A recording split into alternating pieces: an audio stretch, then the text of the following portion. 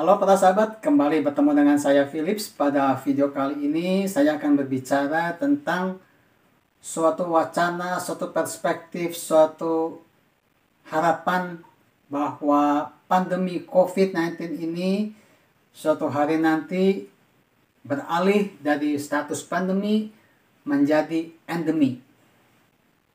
Pertanyaannya apakah status endemi ini adalah sesuatu yang lebih baik dan kenapa menjadi cita-cita pada saat ini? Yuk kita bahas. Sebetulnya antara pandemi dan endemi ada perbedaan utama, yaitu pada cakupan pengaruhnya.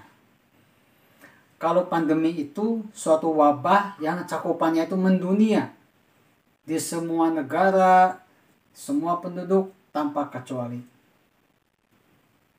Sedangkan endemi itu paling tidak memiliki tiga karakteristik.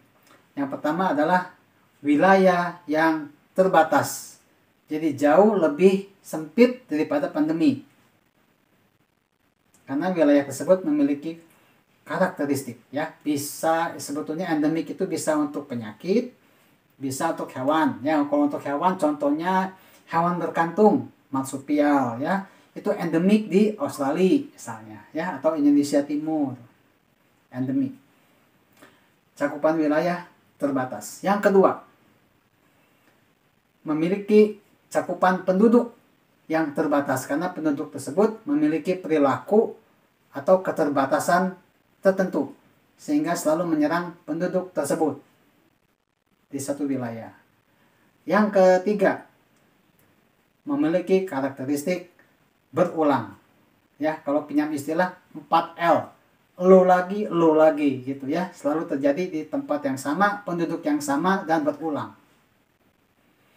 Bagaimana dengan status wabah COVID-19 dari pandemi menjadi endemi?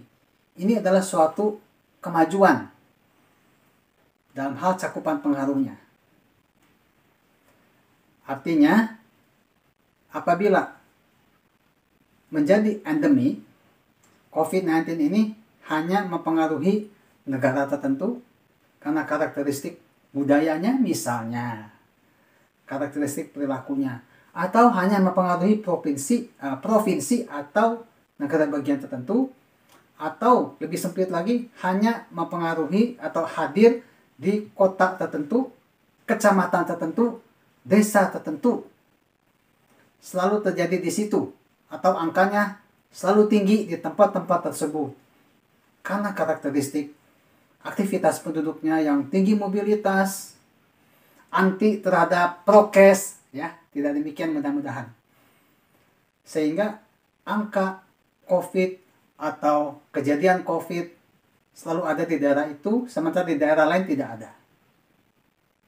Apakah kondisi endemi ini baik? Ya tentunya lebih baik daripada pandemi.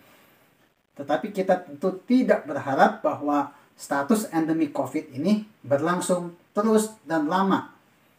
Kita berharap bahwa status endemi ini hanya suatu keadaan transisi sebelum akhirnya wabah ini bisa terkontrol sepenuhnya atau tereradikasi.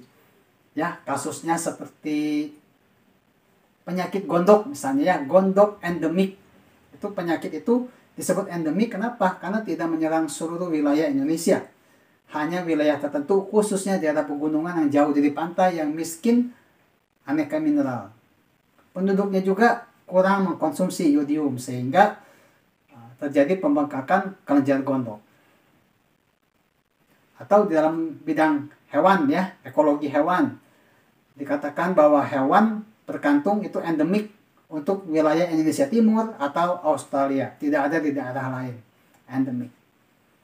Itu ilustrasinya. Ya, mudah-mudahan suatu hari nanti kondisi wabah COVID-19 yang sekarang masih pandemi nanti berharap bisa menjadi endemi dan suatu hari nanti terkontrol sepenuhnya sehingga bisa tereradikasi.